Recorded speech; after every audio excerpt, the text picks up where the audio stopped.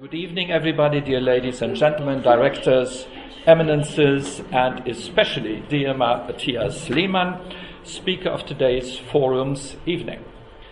Some weeks ago, during the opening session of our second step of research as part of the second funding phase of the Käte Hamburger Center Law as Culture, I allowed myself to remark Though self quotation is always a little bit embarrassing, excuse me for that, I have no other choice for this time. It is the basic premise of the Käte Hamburger Center Law as Culture that law cannot be looked at using only a juristic lens, but must also be seen through the eyes of the humanities, especially the Kulturwissenschaften. Unfortunately, not entirely congruent with the term cultural studies. The law as culture paradigm, as we call it, praises an enlarged concept of the law, including symbols, rituals, organizational structures, and narratives that go beyond the normative scope of decisions and statutes. It proved, too, that a relationship with the religious field is fundamental for understanding law, as law likewise competes in modernity for scarce resources to be untouchable, even sacred.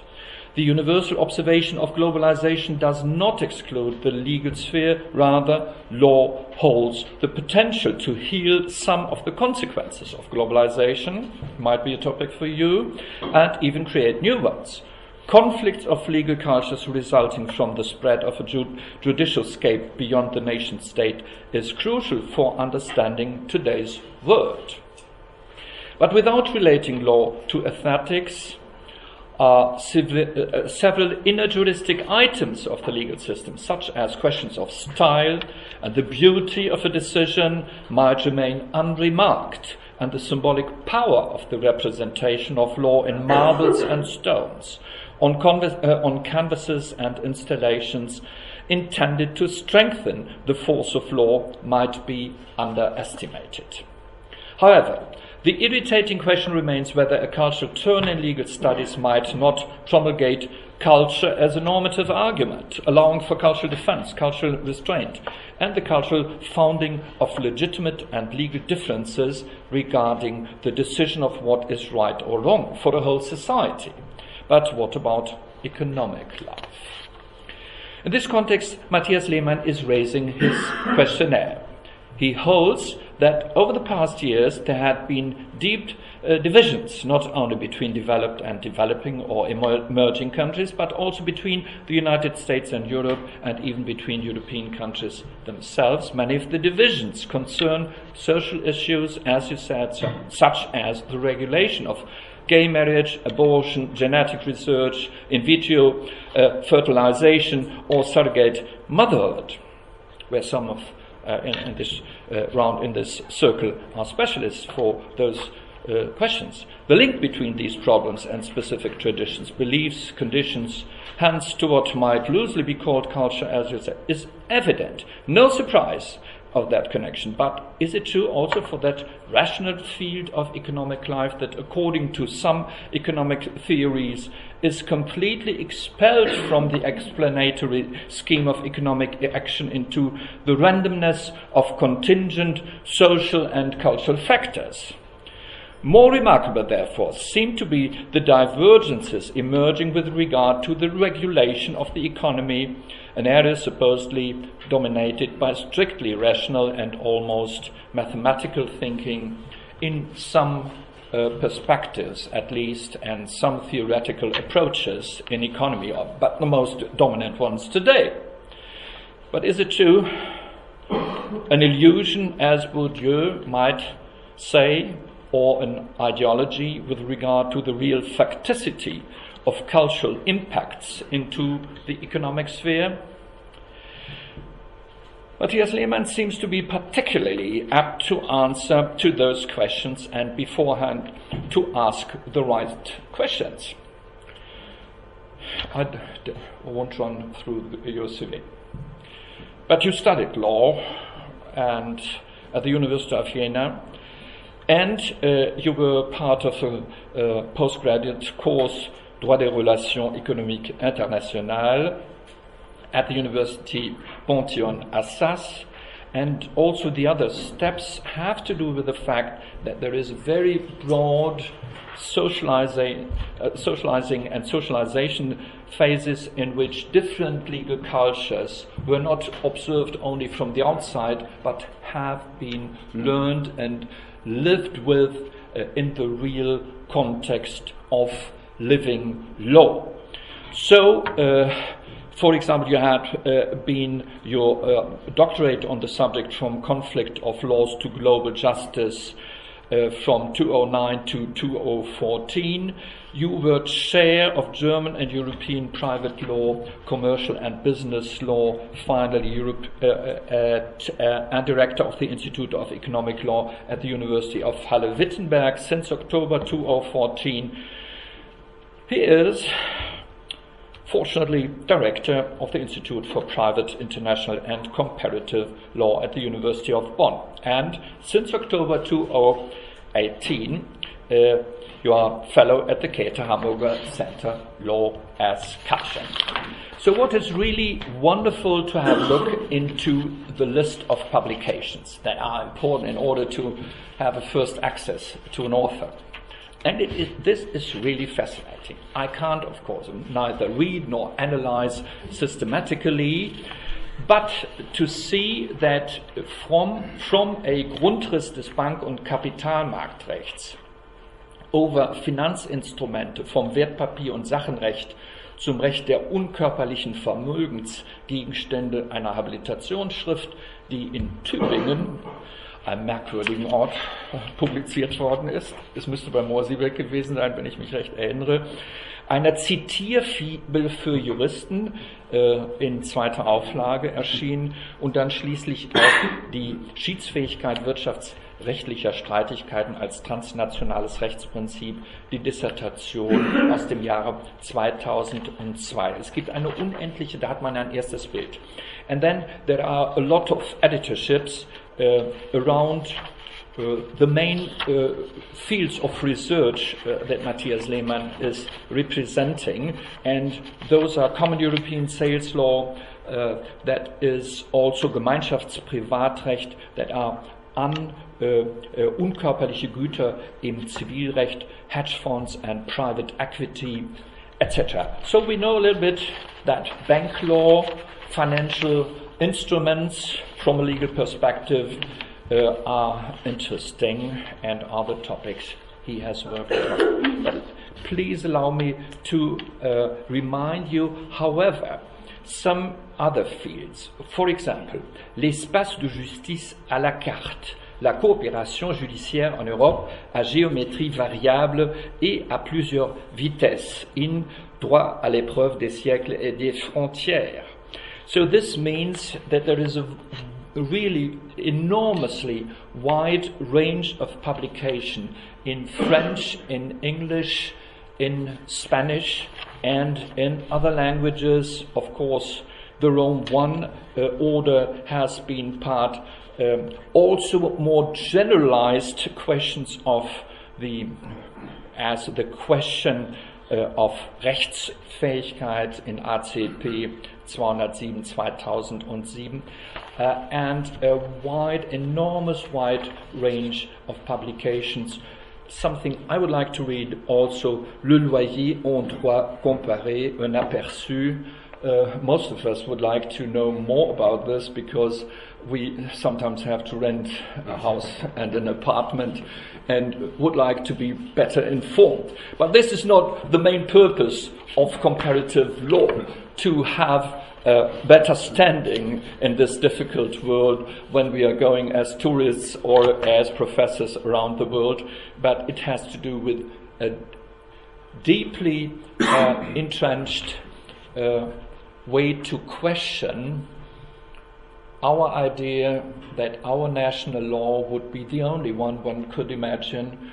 Uh, comparative law tells us another story, and this story will be told also in a field where we think rationality would claim for its way to be regulated by itself. But is it true? We listen to your talk. Thank you very much for being with us, and uh, let's have a good time. Thank you very much for the very, very kind introduction. I have to say, too kind. I feel almost a little bit ashamed. And um, I, I, feel all the more modest today because I'm only a lawyer. I have no training in any other social science and humanities, nothing. Uh, a little bit of economics, but that's about it.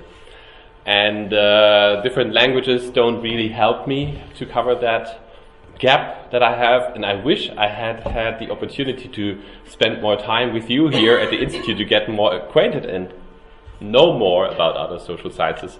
But for many uh, different professional and private reasons, I was not able to, to be here as much as I, as I wanted in the past term. So, every, um, and so please excuse, since I'm only a lawyer, if uh, the ideas that will come up will seem simplistic to you, um, unfounded from a social social science perspective, and I'm happy to to get any input. You know, this is like a, a, a first test run. Um, what could be improved or where there are uh, major mistakes. So every research starts with a research question, something where you where you are simply perplexed, where you don't know the answer. And uh, my research question was and is why are Western systems, Western states, what we call the Western states, uh, but sometimes even not only includes uh, North America and Europe, but sometimes even includes Japan as a Western system. Um, why, if they all are called Western or capitalist, why are they so different? And that's the first thing that we have to agree on. And not everybody will agree with this, I'm sure. But I think there are profound differences between, for instance, the US and Germany, but also between Germany and Switzerland, or Germany and the UK, and then again between Switzerland and the UK. And that has to do something with, um, you could call it the style, you can call it the way of thinking, um, the attitude, the behavior, or the culture, I think. Um, whereas we see lots of innovation in the US, and openness to in innovation, uh, innovation is really embraced, where you see um, a culture of big companies. Big companies are not seen as anything bad. Um, where you see also a behavior of risk taking that seems alien and even strange to us. In Germany, we have more a tendency to focus on uh, manufacturing, producing tangible things. We focus on small and medium enterprises. Switzerland, not so far from us, is similar uh, in that they also have a, a, a well-known manufacturing uh, industry with high-quality products, but they have a much more important financial industry, of course. And then the UK, um, today completely, almost completely deindustrialized, and after Brexit, probably totally deindustrialized, service industry and uh, focuses on finance. That is one side of the medal. But there is also another one when it comes to inequality. The Gini index measures income disparity. And there you see that some countries, I was surprised, for instance, to see that Brazil is really um, the country with the highest income disparity in the world, followed by Mexico. But then uh, closely behind is the United States and China. And then if you look for Germany, we have a rather, although we always feel that we have more and more inequality, and probably there is a point about that, we still have a very decent Gini index. And the best, uh, of, well, not of course, but must be a Scandinavian country, is Norway, where they have um, less inequality than any of the other countries. Although, and that's a fascinating thing, they have a, a developed um, capitalist system as well, right? So why is it that some countries have this type of capitalism and why others have this type of capitalism or even this type of capitalism? That's the basic um, question that I'm asking. and there you can say, of course, this has something to do with politics and it's, um, it changes over time, but it doesn't change that much. or you can say it has something to do with the structure of the economy, but I am convinced that regulation has something to do with it.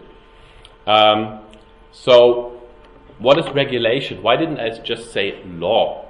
I think law is a little bit too broad in that matter because law that encompasses everything, um, including basic ways of contract law, whether you enter into a contract by offer and acceptance or whether you need more requirements, all of these things that are also cultural, but I don't think that they really influence, for instance, income equality or the, the structure of an industry. What I think is much more important for um, the state of an economy is the way in which the state interferes in the economy, and the state does that by regulation. Now, regulation can be legislation, like law, it can be acts of regulatory authorities, like uh, BaFin in Germany, or EBA and ESMA on the European level, or the SEC in the United States. But in, in my definition of regulation, regulation can also be done by judges. Sometimes the judge takes on the role of a social engineer. I think Holmes said that, right? Judges as social engineers and they regulate a whole industry or they regulate a part of life. Now, what's so different about law and regulation? Isn't that essentially the same? And I'm asking constantly myself this question, but I found something interesting in Foucault. You always find something interesting in Foucault uh, because it's always um, so. How should I put this? It's so so generalized, but at the same time so pointed that you think you understand it and, and you think you can use it for your own talk. So I use this part, uh, the idea of um, governmentality. Governmentality means that uh, this idea that um, in the until the 16th, 17th century, um, sovereign, well, uh, the basis of the law, the focus of the law was to maintain sovereignty of the prince, of the king, over a certain territory. And uh, the goal was obedience to the law. Now, after or with the 16th century, this changed, and um, the sovereign started to think about the population in economic terms and about the well being of the population, and the sovereign started to interfere with um, the different ways of life um, in a very uh, well micromanaging manner. Uh, and Foucault compares this to um, a father running a household. Uh, when you when you run a household, you don't just set general rules of law um, as a king would as a sovereign, but you interfere with the smallest details to achieve certain goals, especially to increase wealth, to save money. And this is what he thinks what characterizes the state, the modern state. And I think I agree very much. The modern state is no longer for the modern state is no longer sufficient to just set uh, general rules uh, of criminal law, for instance, or of constitutional law. It interferes very closely with the economy because it wants to avoid certain effects or achieve certain effects. And uh, Mr. Gephart mentioned um, the example of, of, my article on uh, renting and the comparison of rent markets and how it's done in different countries. And that's exactly what I what I found out. Uh, in Germany, we have a very decent rent market because the state interferes very much with it. We have the highest protection um, that you can imagine when you're renting an apartment anywhere, and that um, means that we have well, most of us are happy to rent, whereas in other states there is much more drive to buy apartments, to buy houses, which increases the prices enormously. Um, but then there is also a cult. What I found out in this article, working on this article, was that there is also a cultural element involved in this, because in um, the Anglo-Saxon world, it's a cultural thing to own your own house. right? Um, and uh, we don't have this. Now, the question, of course, is is that you because we have this rent protection, or do we have the rent protection because we are a nation of people who are renting and we're a nation of tenants? I couldn't find that out, but I had a hard time convincing my economic, my co-author, who is an economist, that any of this, the mentality, would have anything to do with this. Right? She was just looking at the numbers and the graphs and saying, "Well, we have this and they have that," but that's a question of offer and demand. And I think now it's also a question of mentality, right? Um, anyway, so um, coming back to governmentality, um, Foucault said, um, and I found that really interesting. He said, in in um, the governmental state of the government, the modern governmental state, law uh, is no longer an end of itself in itself obedience to the law is no longer an end in itself but law is more used as a tactic to achieve something right you use regulatory action to achieve certain goals like increasing the wealth or having decent housing for your population and then something that struck me personally um, but i discovered many many times when um, i did research on banking is that this means also a battle of professions, right? Whereas we used to say, well, the countries are run by lawyers. That's no longer, I think, the case, especially when you think of the European Union. More and more economists who write, really write uh, from start to finish um, regulations, directives, and that's why these things are so hard to read for lawyers right? Um, it's, no, it's no longer pleasing to read a directive from the European Union because it goes into so many details. It's a, it's a kind of rulemaking that's totally alien to lawyers because it doesn't start with principles and then gives exceptions. It, it gives rules of what you have to do, right? And that's um, governmentality, I think. So, what is regulation? If we uh, agree that regulation is important, what is the goal of regulation? And here the economists have very clear answers. They say um, regulation must always serve to remedy market failures. Now, what can be market failures? Uh, economists would say when there are information asymmetries, for instance, in consumer law, when you buy something and you don't know all the features, we have to regulate the market because um, the consumer doesn't know enough about it. Or when you have monopolies, uh, we have here in Bonn the uh, Bundeskartellamt, which is uh, responsible for fighting monopolies. When you have externalities, we also have in Bonn um, the Climate Protocol Agency of the United Nations that administers externalities to the environment, or if there is a lack of a um, public good. For instance, if the water is no longer clean enough or the air is no longer clean enough. But I think this is all very insightful, but I think it's lacking something. The state intervention into the economy can also have other objectives. For instance, it can have the objective to protect stakeholders. If we think about uh, Germany, co-determination, Mitbestimmung, right? that is not to solve any market failure.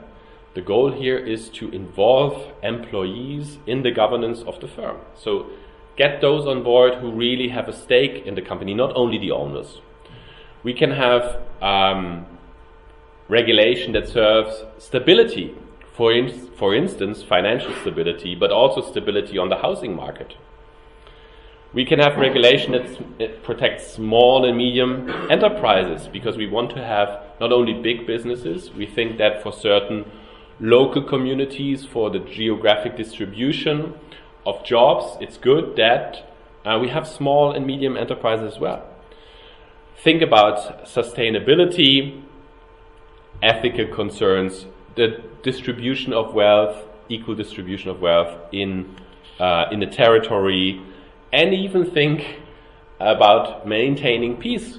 We say lots of times that the, Europe, the goal, the ultimate goal of the European Union and its single market is to maintain peace in Europe.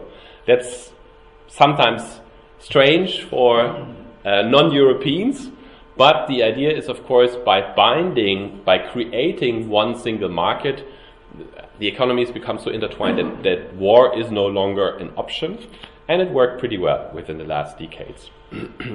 so the economists, of course, don't see those things, or really don't. It doesn't fit into their models because they focus on efficiency.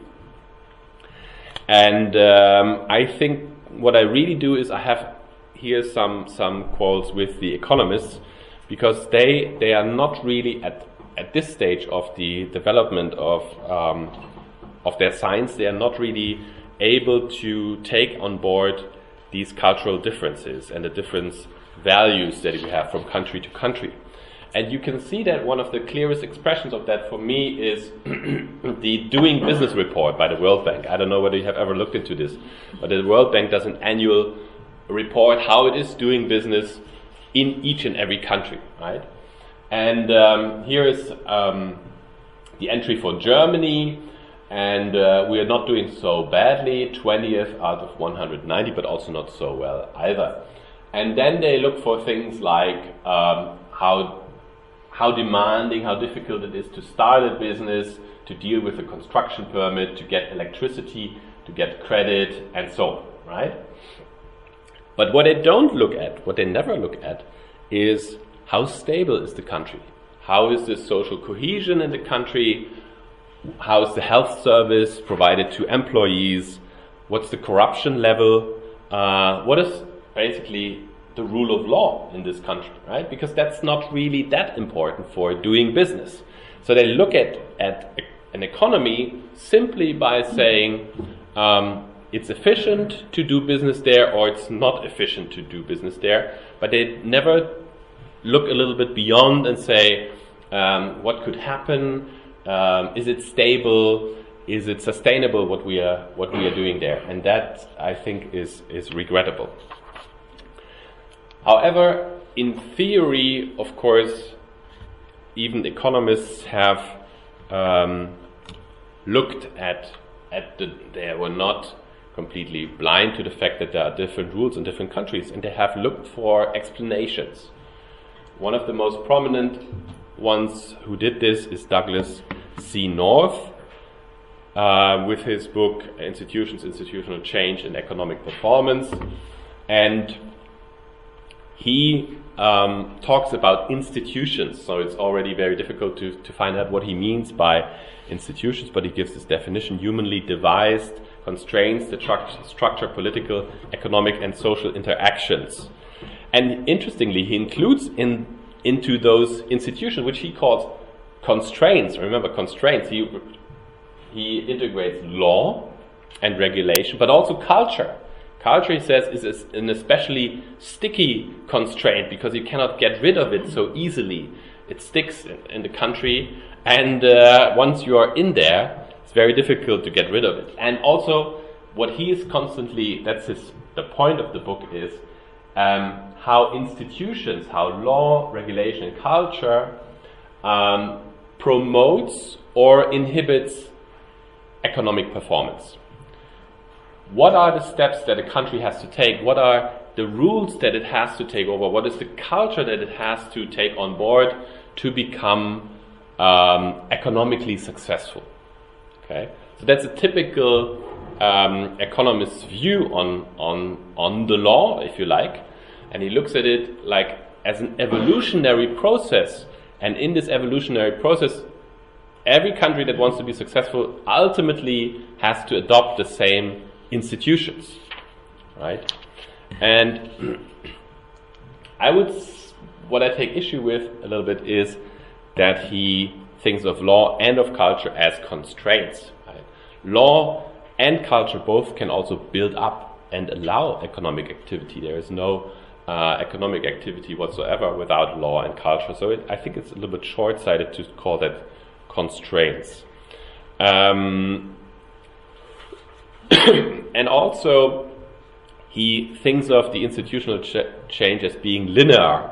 Everybody has to, at some point, adopt um, the same rules on antitrust, um, on uh, insurances, on rent law, for instance.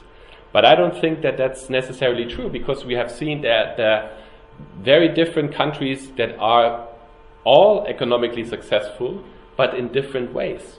So I think there can be different outcomes um, of development and very different types of capitalism. That brings me to the next uh, type of explanation um, by Hall and Soskice. Always have problems with this name. They have published a Soskice, sorry. Uh, they have published a famous book called Varieties of Capitalism, in which they distinguish two types. They categorize broadly all um, capitalist economies into two types. There are liberal market economies and coordinated market economies. So liberal market economies are basically, we can simply say the Anglo-Saxon economies, right? They're liberal and coordinated. That's everything from Germany over Japan to China. Uh, because, and the, the, the, the, theory is, well, in liberal market, uh, companies really compete on uh, price, on quality, but in the coordinated market economies, it's more complicated. The state interferes much more. Uh, everything is relational. You have to have contacts with certain persons, with uh, with um, decision makers, and uh, with other companies. So the idea is com- companies in Germany and in the US operate in a very different environment. And I think I can agree with that. I mean, that's clearly they see there is a different culture, right? Um, and then they say, interesting observation as well, um, some countries may derive an advantage from their, from their institutional infrastructure. And they are not as simplistic um, as North was by saying, well, ultimately every, everything has to be liberal like in the United States. They say, uh, well, the institutional infrastructure in Switzerland obviously is very successful, right? As is the one perhaps in the US, but they never discuss really what is successful. Um, I, the problem I have with, with this uh, explanation is, first of all, it does something um, that I'm not so interested in.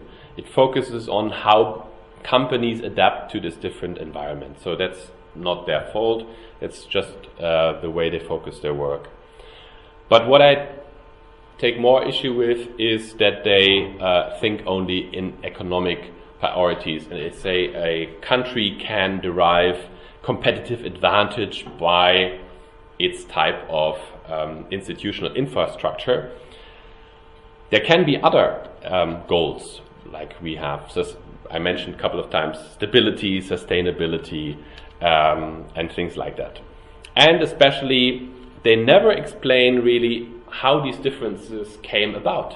Why do we have this type of um, of coordinated market economy in Germany, and why does the US have a liberal market economy?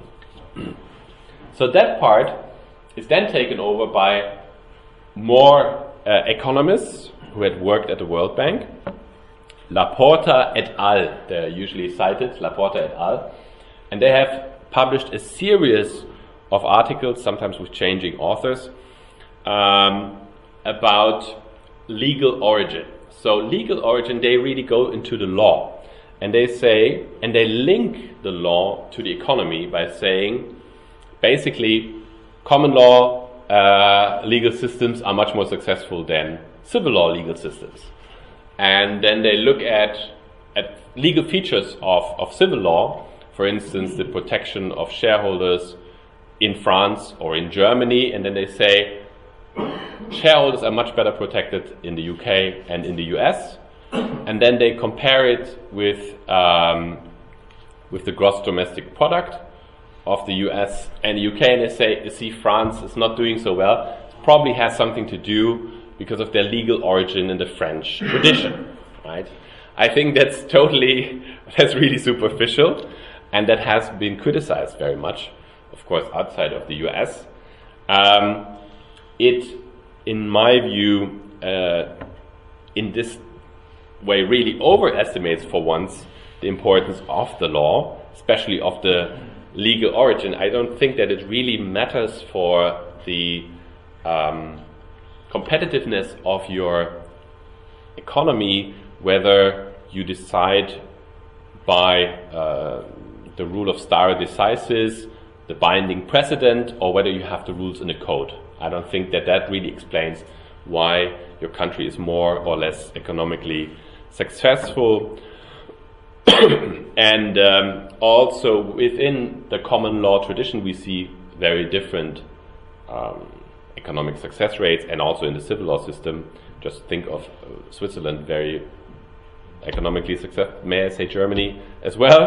And um, and what is particularly striking is that what they say is better. How they measure what is better, they measure is it in gross domestic product. So whether you, whether a system is good or not is measured in how much economic output you do per year. But that's not the the whole story, right? First of all, you would have to look how much you make over decades. Is it stable or is it just boom and bust?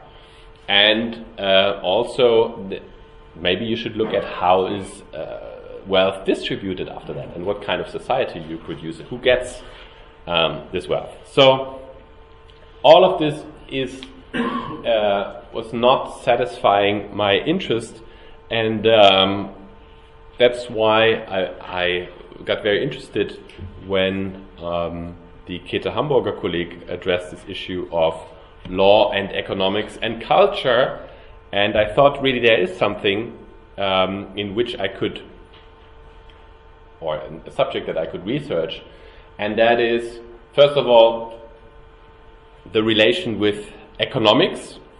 Um, regulation, as I already said, is very much influenced by economists and most parts of regulation and they are very well in in economic in economics. Anglo-Saxon thinking is absolutely dominant. Um, that I think it's in no other discipline as dominant as in as in economics, not even in music, because in music we at least sometimes hear German music or French music or Spanish, but in economics, German economics, uh, Italian economics is basically dead. All of my uh, colleagues from the Faculty of Economics, they all write in English, and not only do they write in English, but they take over all the concepts, all the thinking from the US. And I've checked in the last 20 years, there were 39 Nobel Prize winners in economics. So mostly they give it to two, uh, sometimes even three authors. And among those 39 Nobel Prize winners, there was only one who did not come who did not come either from the US or from the UK. I mean, a U, UK or US university, maybe different origin, but completely dominated by um, by Anglo-Saxon thinking. The only one uh, who was not from the UK or the US was uh, Mr. Tirole from France, and before that we had one German who was at the University of Bonn, Reinhard Selten, of course but uh, it's, it's very dominant. And that re is reflected a little bit. I, I, think we, we should also at some point talk about the culture of the economic science. The economic science today is dominated very much by a certain um, Anglo-Saxon culture. I, I, I'm just, I don't deplore it. Here is my um, my assistant from the United States, Brian Thompson, who also helped me set up the, the PowerPoints. But um, I have to say, well, we have to realize that it's very much dominated by American thinking, just what it means um, for, the, for the way in which the economic science is set up. And that means it's largely blind to other values and goals than to short-term profits, efficiency, business ease. That's the that's the things that that matter most to economists. Now, um, I think, on the contrary, that you can also use regulation for other uh, goals that may reflect, in a way, the preference of a society. And societies may have other preferences or more preferences than just a high GDP or just um, big uh, profits. And what I want to do is to um, find out these other preferences, these other goals, these other values, and to do that, I'll, I'll take, I'll try to take some uh, insights from, from other sciences as much as I can. But my knowledge, of course, is limited. What I found very intriguing and intuitive and appealing for me as a lawyer who's uh, not very versed in the literature was or are the cultural dimensions by Geert Hofstede, who is a Dutch anthropologist and who studies mainly business cultures. Business cultures. And he has this very um, these very nice dimensions in with which he tries to categorize countries it's a little bit superficial, I have to say, right? You cannot do it that easily, and, and not all of these categories are really helpful for me. So I still struggle with masculinity versus femininity, uh, what, what he really means by that. It's not that uh, male dominance or something like that. What he means by that is that a society, a society is more masculine when it is dominated by values as success in um, in profession, um, profits, money, things like that. And, and it's more feminine when it also values other factors, right? Like uh, human relations, things like that. That's, that's, that's one idea. No gender bias. No gender bias, right. So I think there's certainly, there's certainly some things that, um, that we can debate but um, long versus short term in, um, orientation I found very intriguing. Uncertainty avoidance and also individualism versus collectivism and just because it's so interesting, indulgence versus restraint is also very, very revealing. And now I'm doing what is most, perhaps, no, it's not yet the most uh, risky part, but it's also very, already very risky. I do a little case study on ourselves, right? It's always um, the most interesting, but also the most difficult to judge yourself a little bit. So, how, how does Germany fare on these cultural dimensions?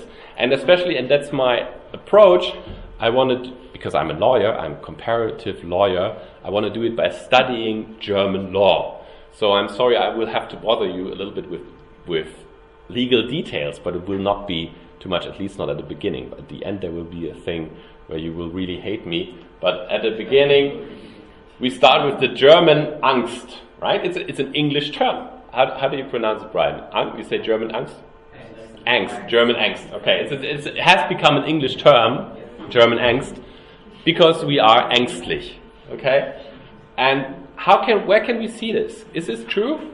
Do we have objective things? Yes, of course. If you look at the law, we have we have the Vorsorgeprinzip, in environmental law, totally not understandable to Brian, Vorsorgeprinzip means um, if there is a risk that there is climate change, but it's not yet proven, right? It's not yet proven, then we take precaution and we don't go all the way in emissions and so on. We don't emit anymore. We stop emissions until we know for sure that it's not damaging the environment. I guess the American approach would be totally the opposite, right? We first emit as much as we can, and then if there's some damage, we will handle it, right? Isn't that typical American versus typical German? I would say so. And it ha- it's so important in Germany, it has influenced the European Union, and the French, at some point, they, they wanted to incorporate it into the French constitution, but they then stopped it. It's too German. No, but it's. Um, th- there is something, well, let's continue. Uh, Atomausstieg. I think we are the only, or maybe not the only, but one of the few developed nations who completely shunned nuclear energy. And it seems to all of us, including me, totally natural and logical and rational. But to many others from outside, it seems crazy. You're, you're, you're renouncing the cleanest and most efficient energy, right? And risk, yeah, there are risks, but there are always risks. That's how the rest sees it. Um, or uh, genetically modified organisms. We don't like it. Right? Many others say, well, it's a solution to, to many problems of the world. Uh, genetic research, to be fair, I think that has also something to do with our history, uh, the Third Reich, but I'll, I'll come back to that as well. Now, here is um, risk or uncertainty avoidance, risk avoidance in the stock market. Mr. Gephart has mentioned that I'm particularly interested in that. And indeed, in that area, you can see that Germany is, is very different. And they speak, uh, um, stockbrokers, they speak of the risk averse Germans. So, in global average, the global average um, of investors invests 35% in stocks, right? Uh, whereas the Germans only 19%. And it's estimated that, and we do this, of course, because, uh, like my mother-in-law always says, who's who's going on the stock market, uh, he's playing lottery, right? You cannot predict it, and uh, you will lose money eventually, so we don't do it, right? And that's a typical German attitude, and it costs us a lot of money, right? Um, it is, uh, you see here, the worldwide assets in trillions, and it's always going up. And the German assets are more or less staying the same. And that, economists at least say that's because we don't invest in the stock market, because we are risk averse. But there is also another uh, um, part of the story. We are long term oriented. We look into the long term we have in accounting, in Handelsgesetzbuch, we have the true and fair view. That's our principle of accounting. It's not the American principle of accounting. The American principle of accounting is um, make it most attractive for investors, right? For us, it's more like prudence, be prudent. Um, then we have the concept of, I think that's typical German, der ehrbare Kaufmann. You can find this in commentaries on the commercial code always. Der Ehrbach, he does the the honorable merchant does this and does not this. So and that that's the standard of behavior that you have to follow in commercial law. The honorable merchant. then another thing that shows that we are oriented toward towards uh, stability is we still demand for the GmbH 25,000 euros. I know we now have Unternehmergesellschaft, which you can start with 1 euro, but for a real limited company, we have we demand 25,000 euros. The French, for instance, uh, 1 euro. Totally sufficient for an SARL. Um, we have very high quality requirements for products. Also interesting, um, we have a prohibition of compound interest. You know what compound interest is? Interest paid on interest. So if you if you take out a loan like for five percent, and and um, you have an arrear of ten thousand euros per year, um, then and you don't pay the interest, right? Then in many countries of the world, including France, especially the US, of course, and the US and the UK, interest you have to pay interest not only on the outstanding capital but also on the interest that you're still owing. So uh, you pay interest on interest, compound interest, and that, of course, increases the debt enormously over time and makes people or um, makes people become indebted. And when I found out recently with a banking colleague from France, he asked me like, "What about compound interest in Germany?" He said, "Prohibited." He was totally astonished. Said, "What? I thought you are a liberal country." And I said, "It's more complicated than that." It's not as simple as we are illiberal or liberal. Um, things are more complicated. I think it's, it, it's about values, and values are part of culture. Now, here is uh, Geert Hofstede comparing um, the cultural dimensions of Germany and the United States. And, um, well, I don't want to talk about masculinity because I still don't understand what it really means, but that's not possible that Germany is more masculine than the United States. But what I definitely, what I definitely believe, what I definitely believe is that we are more long-term oriented, and you can see it here. I mean, it's it's just fascinating, right? And that the US is more individualist. Everybody would agree with that as well, I would say. But what I also find interesting is indulgence. We are not indulging, and that's part of part of our problem. Of for our our economists keep saying we should we should spend more and not save so much, right? So we are not indulging enough. and here, that's the next. Um, that's the next slide. Restraint versus indulgence. How many times have you heard about the schwäbische Hausfrau? Die schwäbische Hausfrau. Every economist tells you it's absolute nonsense, right? If you want to earn something in the long term, you need to make a big investment. And for making an investment, you have to take out a loan. But if you follow Miss Merkel and the Schwäbische Haus, you never take a loan. You only spend what you have, right? You can never spend more than you have. If we would always do that, we could never acquire a house. A railway could never be built, an autobahn could never be built. Of course, you have to take uh, loans, but that's part of our culture um, to say, well, we can only spend what we have, right? Isn't it? And that is seen as something morally reprehensible. And I think this man has something to do with it. Uh, Mr. Gephart said that I have been working at the University of Halle-Wittenberg, and there he had a certain certain influence, right? And he, what was his fight with the Pope about? It was the about the way that the Pope was financing the St. Peter's Dome, right? And he did that and that's interesting with the Ablassbriefe, which are called in English indulgences. Isn't it interesting? So uh, he paid that, but also with a lot of debt. And um, and Luther Luther took issue with that, and he said you cannot you cannot finance such a, a secular building with debt or and indulgences.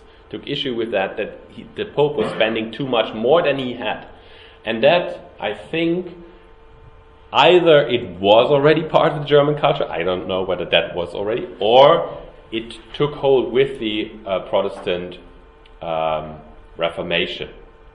You see it in other contexts, I, I, just mentioned in passing the Schwarze Null, of course, um, also a fetish of, of Germany, um, the, the clash with the Greek over the bailout.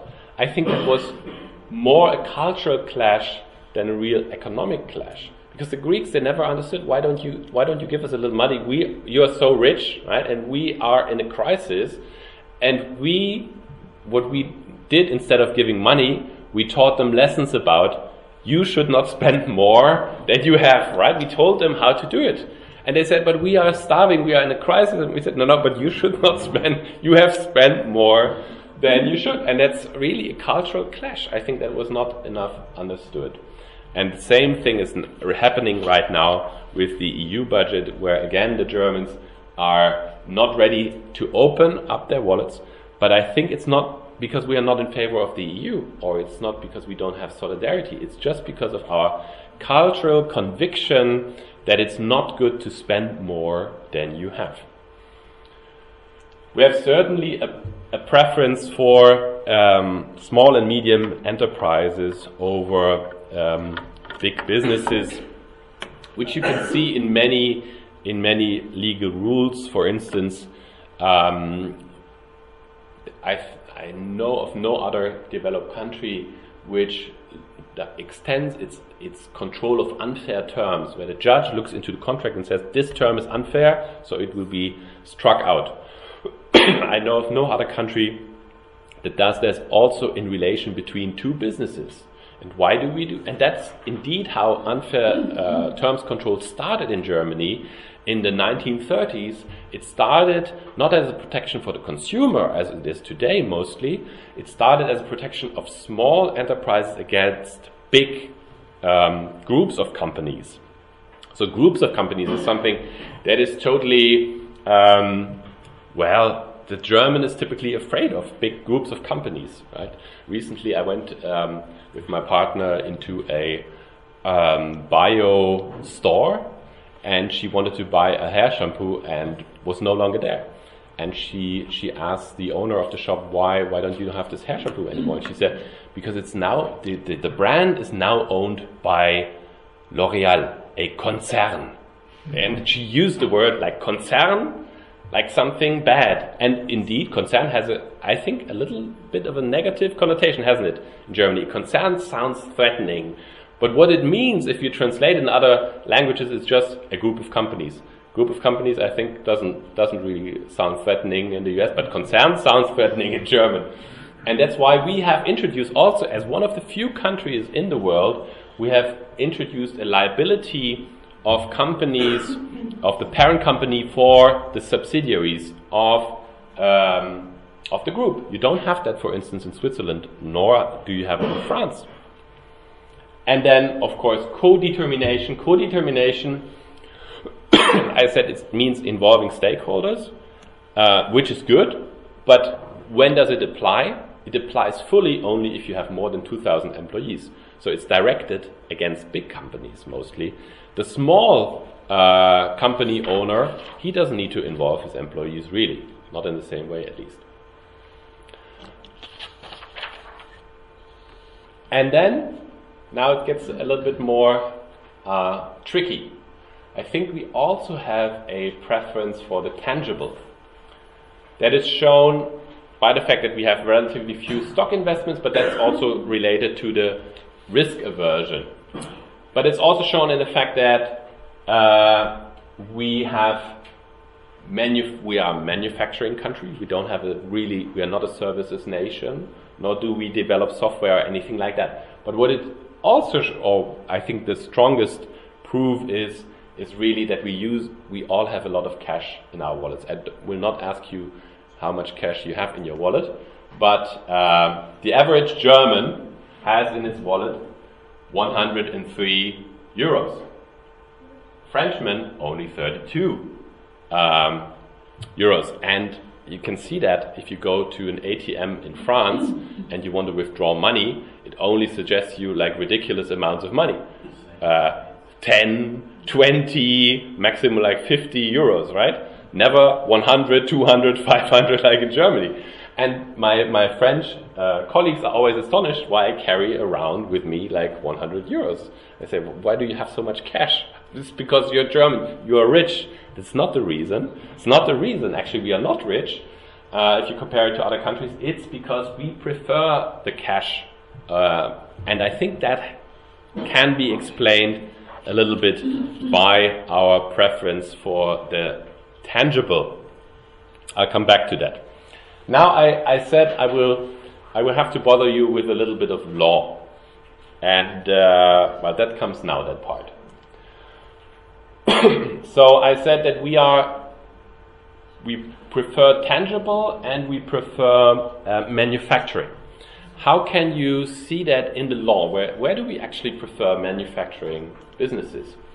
And that's like a well, complicated case law that every law student has to learn and every law student uh, has to suffer, but uh, I will show it to you nevertheless. So imagine, and that frequently happened in Germany, um, a manufacturer produces let's say cars, right?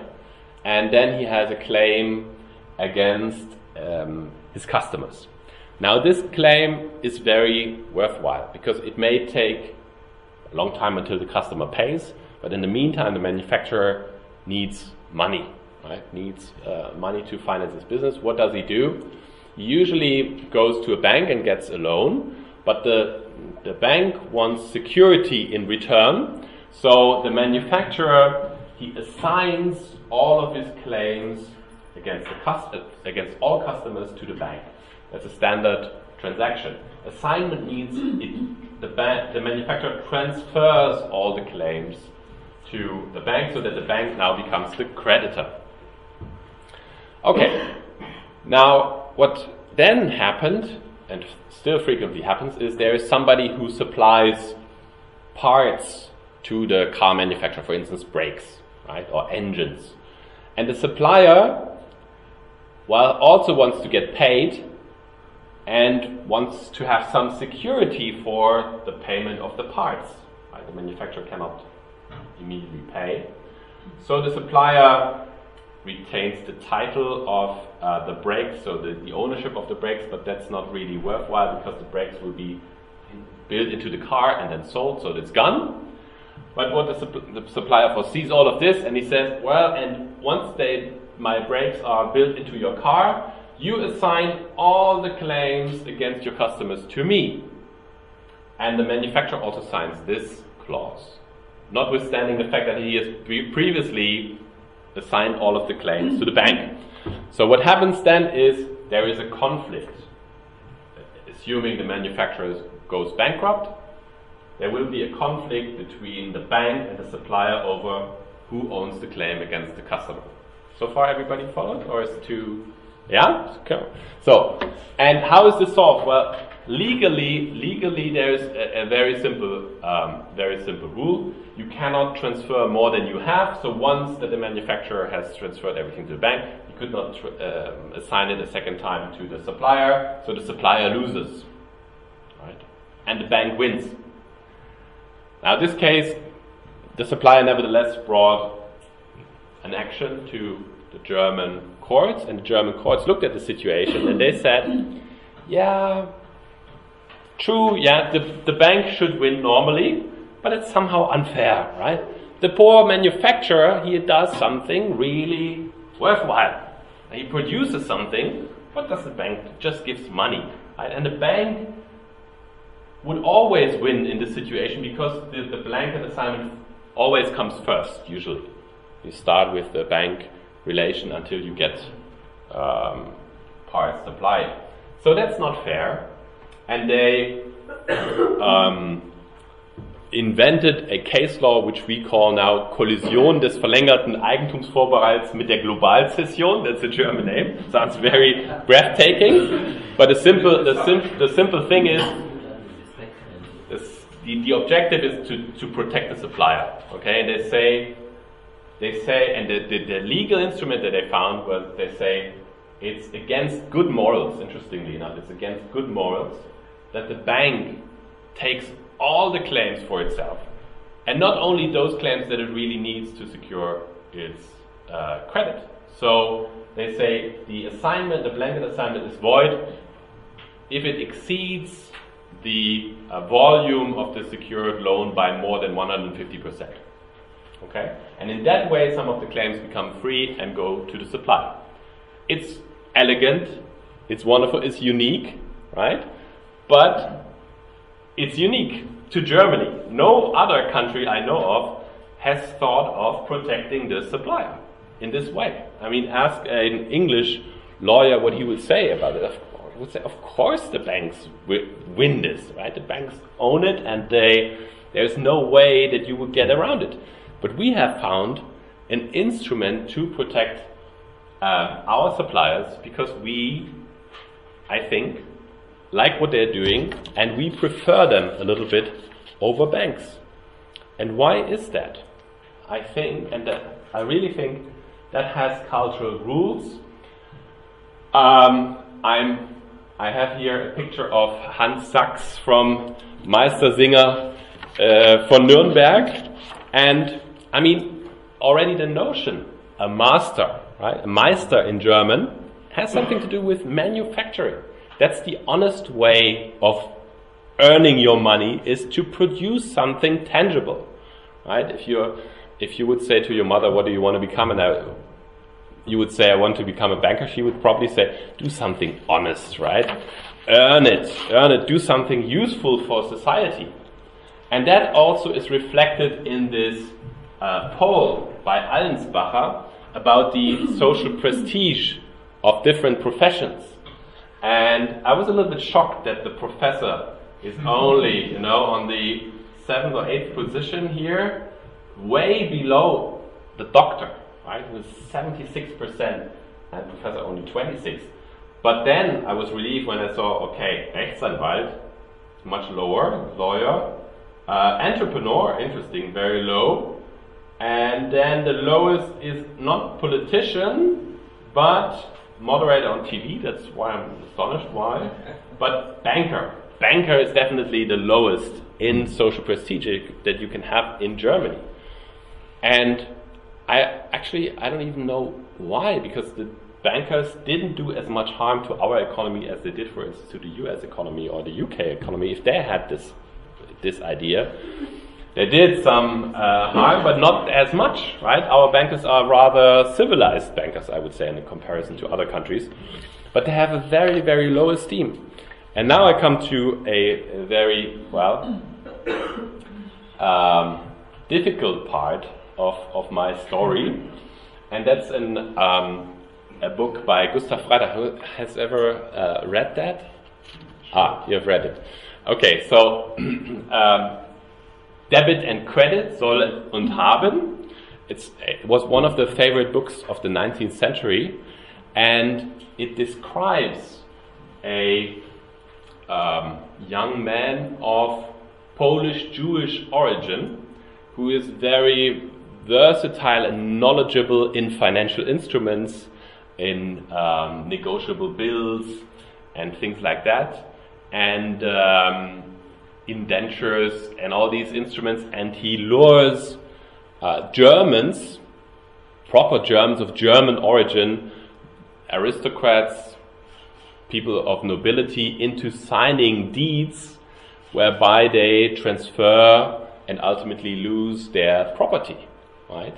And that was, of course, totally anti-Semitic. And um, it was connected, a book connected, connecting um, Polish Jewish people directly to finance and uh, the bad influence that had on Germany and the fate of Germans. And it's a, it's a well known story that the Nazis exploited um, the fact that many uh, Jewish people were working in banks for their cause. But I think, and while it's difficult, of course, to to um, to prove that.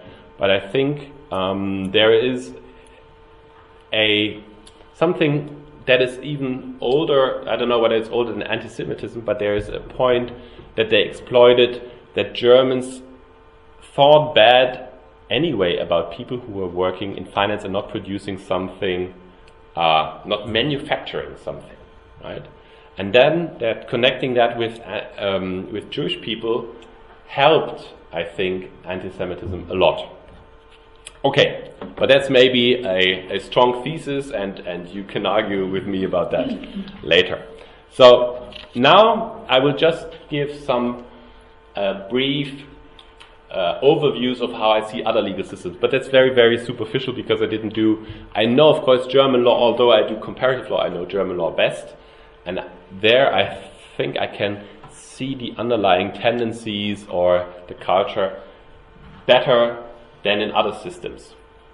But if I look at the U at US law, you see that they embrace risk in, in lots of ways, whether it is in, in research or whether it is or in environmental law or whether it is in finance.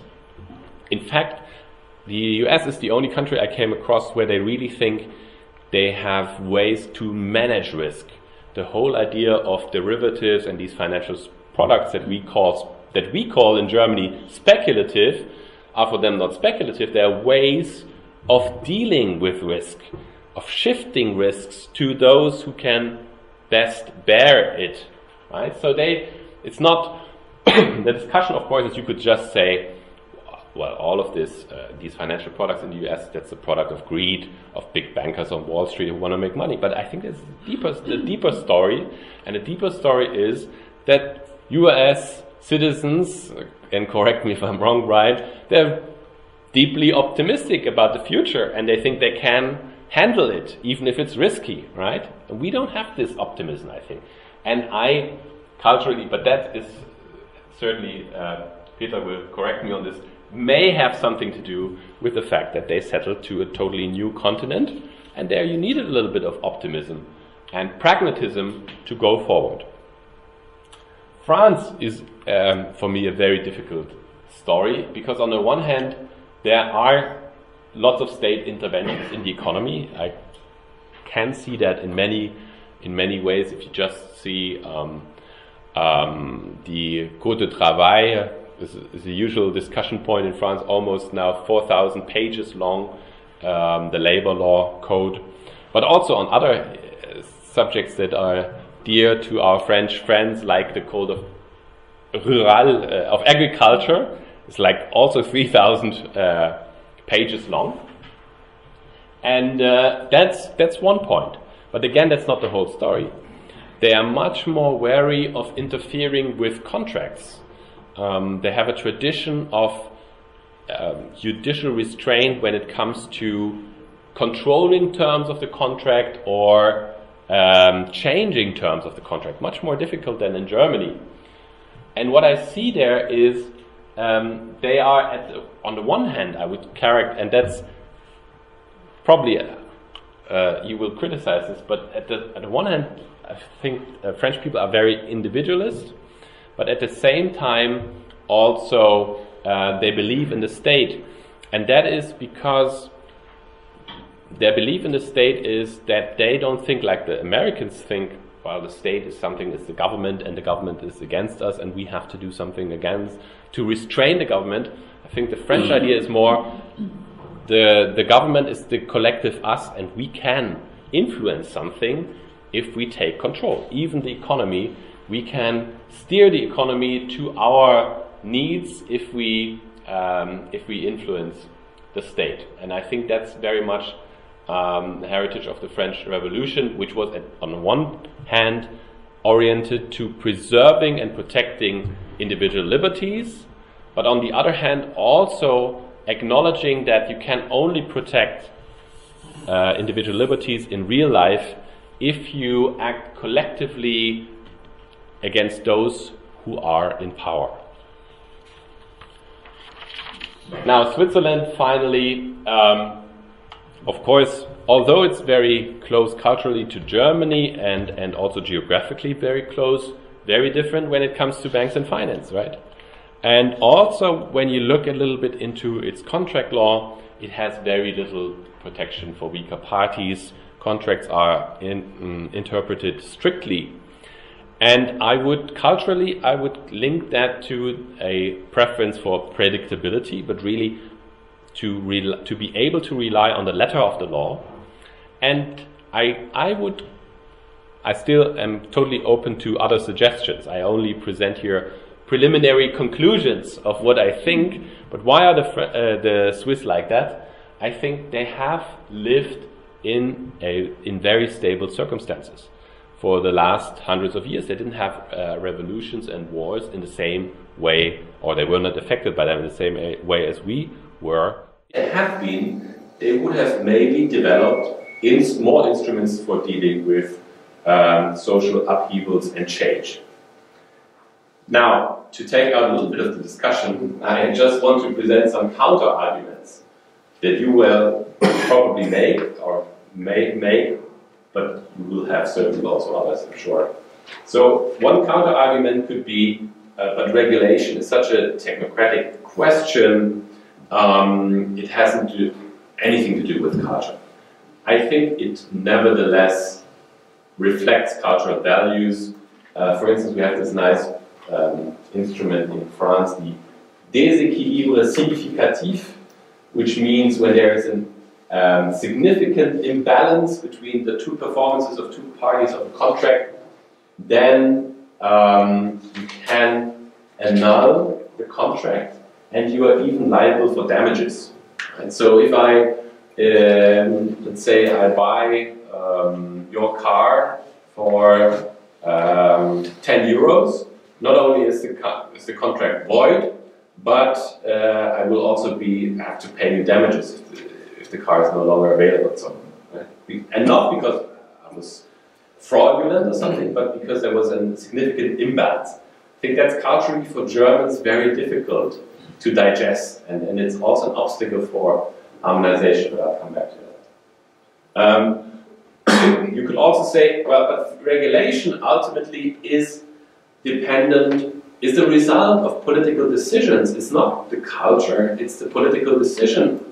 If there is, you know, if Bernie Sanders wins in the US, the US will probably have uh, more socialist rules than, than France and Germany, right? I don't think so. That it's really uh, there is that there is this broad way of change that can be brought about by politics. Politics only works within a certain framework of the discussion, and some things that we think are uh, natural are not even discussed in the United States, and vice versa. So there is a, a, a way of thinking, a framework of the discussion that determines politics, and that's, for me, culture. Then you could make the point, well, we live in a globalizing society, and anyway, it's all becoming the same. You have so many people uh, moving around from other countries, so how can you claim that, uh, that there's some, there is something uh, like culture? True, to a certain extent, but law is made, law is made mainly by states. And states function according to certain modes, and, um, and these modes are still very much determined by tradition, attitudes, values. Um, migrants need time to make their way into a certain um, system, legal system or political system, and by the time they have gotten there, they may have adopted and assumed so much of the culture of the country and maybe need to do that also to, to uh, win an election that they are no longer very different from those who are living in, the, in this culture. Uh, and I think that the, the, the, populist movements around the world that we have seen within the last years, um, last two or three years only, um, shows a little bit that there are marked differences and that people uh, value those differences and don't, and that they are not overcome so easily.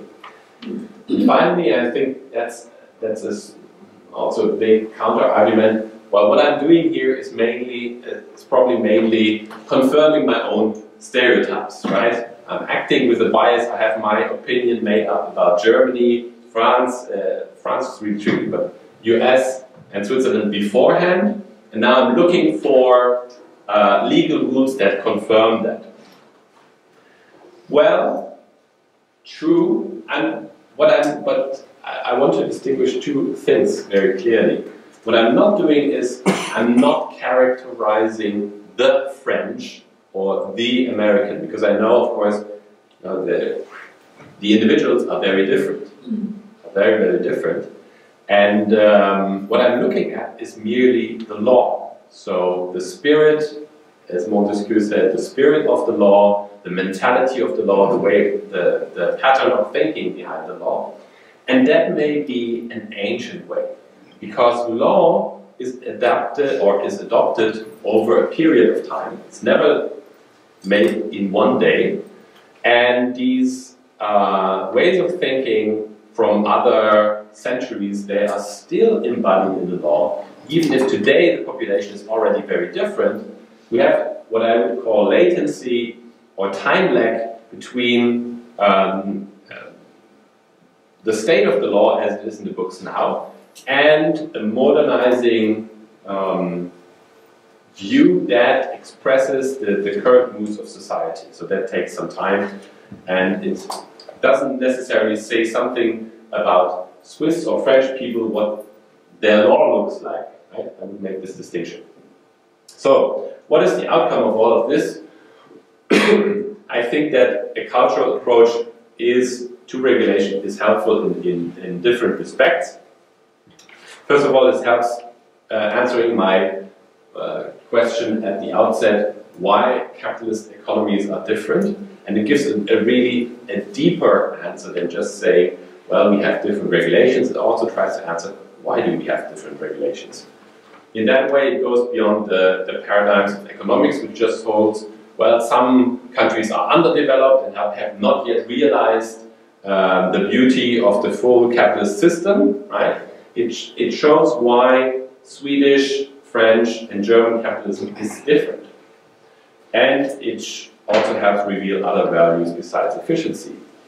Um, especially stability, sustainability, maybe even equality. And what we see, um, well, I think economists should look as well more into law, I think we as comparative lawyers, we are forced a little bit in, to look into the reality of other um, cultures, and we, we are struck by the differences that we found, that we find, whereas economists look at this from a more distant point, and they would be well informed to look at the practicalities of law, because law is informed by the needs and um, the attitudes of, of a uh, certain country and how it is solved. So that's why I think comparative lawyers are more aware of the differences than economists usually are. And finally, I think this also has some impact for the harmonization and globalization uh, movements. I think every, anybody who wants to harmonize different laws is well, is well advised to not only look at the letter of the law um, or at the size of the economy or other economic data, it's, it's very worthwhile to also look um, into the culture and see that states are interested in some and very attached to certain rules, like we in Germany, for instance, co-determination, although all economists around the world tell us economically it's, it's useless, it's senseless, uh, and you're the only country who has it, so why do you have it?